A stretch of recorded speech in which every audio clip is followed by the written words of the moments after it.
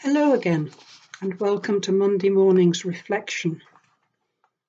I am Sylvia from Holy Trinity and St Michael's, and of the readings for today, my choice is a favourite the healing of Naaman, a military commander in the Syrian army, the superpower of the day, feared by their neighbours and respected as a great nation. As a retired nurse, I like this story of restoration and healing, people helping even those who are their enemies, even those that have enslaved them. So here is the story of Naaman from the second book of Kings, chapter 5. Now Naaman was commander of the army of the king of Aram. He was a great man in the sight of his master and highly regarded because through him the Lord had given victory to Aram. He was a valiant soldier, but he had leprosy. Now bands of raiders from Aram had gone out and had taken captive a young girl from Israel, and she served Naaman's wife.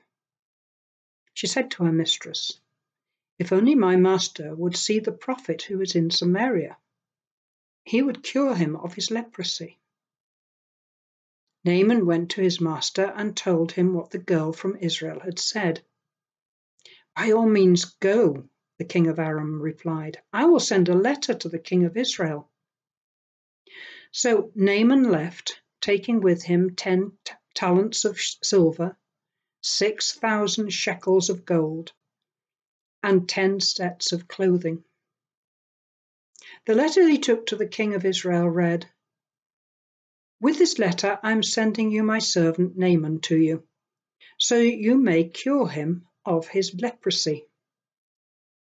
As soon as the king of Israel read the letter, he tore his robes and said, Am I God? Can I kill and come back and bring back to life? Why does this fellow send someone to me to be cured of his leprosy? See how he's trying to pick a quarrel with me. When Elisha, the man of God, heard that the king of Israel had torn his robes, he sent him this message Why have you torn your robes? Make the man come to me. He, and he will know that there is a prophet in Israel. So Naaman went with his horses and chariots and stopped at the door of Elisha's house. Elisha sent a messenger to say to him, Go wash yourself seven times in the Jordan River, and your flesh will be restored and you will be cleansed. But Naaman went away angry and said, I thought he would surely come out to me and stand and call upon the name of the Lord his God, wave his hand over the spot and cure me of my leprosy. Are not Abana and Pharpar, the rivers of Damascus, better than all the waters of Israel? Couldn't I wash in them and be cleansed? So he went off in a rage. Naaman's servants went to him and said, My father, if the prophet had told you to do some great thing, would you not have done it? How much more then when he tells you, Wash and be cleansed?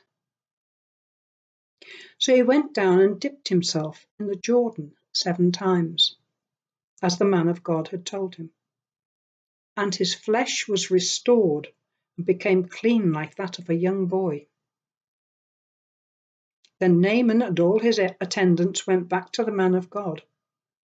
He stood before him and said, Now I know that there is no God in all the world except in Israel, so please accept a gift from your servant. The prophet answered, As surely as the Lord lives, whom I serve, I will not accept a thing. And even though Naaman urged him, he refused. If you will not, said Naaman, please let me, your servant, be given as much earth as a pair of mules can carry, for your servant will never again make burnt offerings and sacrifices to any other god but the Lord.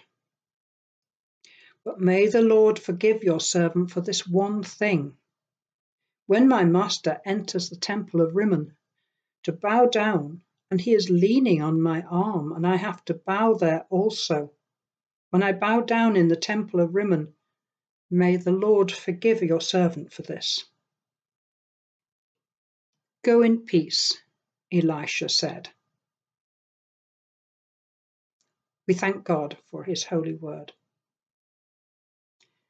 There's this hefty fellow in full armour, giving orders and expecting instant obedience, trusted fully by his king and all the army, fully in control, hit by a tiny organism that he has no control over, knowing that it is rejected, it will bring early death and somehow even worse, deformity and disability, losing his place in society, unwanted. Sounds familiar, doesn't it? He doesn't know what he can do. He can't do anything about it. There isn't a cure. There isn't even a vaccine to protect his family. And this little lassie, who has been captured and enslaved, who looked at her mistress's husband with compassion and spoke out about how he could be healed. I'm not sure that if I was enslaved, I would be bothered to mention it. But this little girl knew all about the God of the Israelites and that he was mighty and the best and he would expect her to care. When the Syrian king sent the message to the Israelite king, things could have gone seriously wrong. But Elisha intervened and Naaman turned up at his house. And Elisha didn't even bother to come to the door himself, but sent instructions which seemed much too simple, much too mundane. But Naaman had sensible servants who persuaded him to do as he was told. And so he was healed. But what was more important, Naaman acknowledged the supremacy of the real God, the God of the Israelites, and determined to worship him and him alone.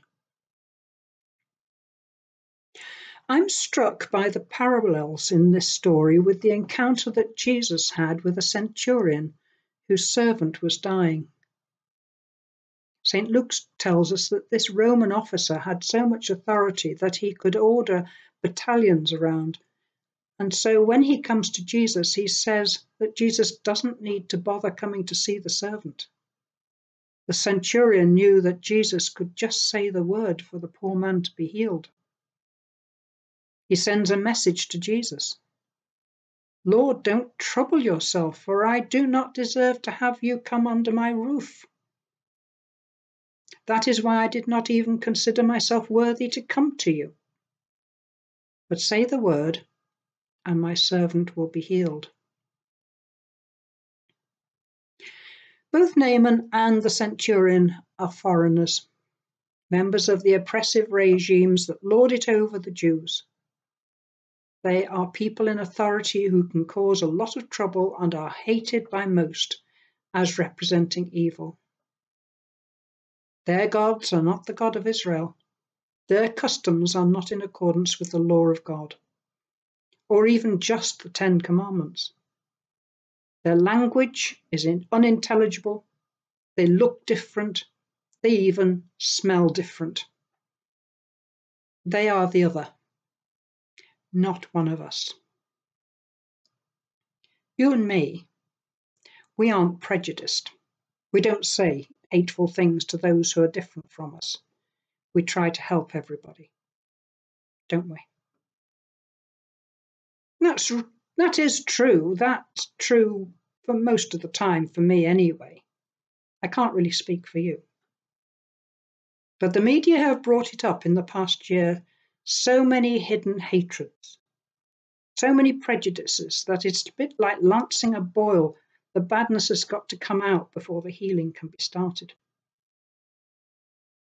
And even if we only complain about the stupidity of people concerning the pandemic, we are showing contempt for some of God's children. Even if we repeat the unpleasant remarks made about the leaders of the countries that rule the world, we are tarnishing ourselves with less than compassion. By the behavior of a small child who knew the real God, Naaman, a great warrior, was brought to his knees in worship to the only God. By Jesus' accept- acceptance and compassion for the centurion and his servant, the centurion came to know and worship the only real God. Maybe by our behavior and compassion, others around us may come to know and worship God the Father through Jesus the Son in the power of the Holy Spirit.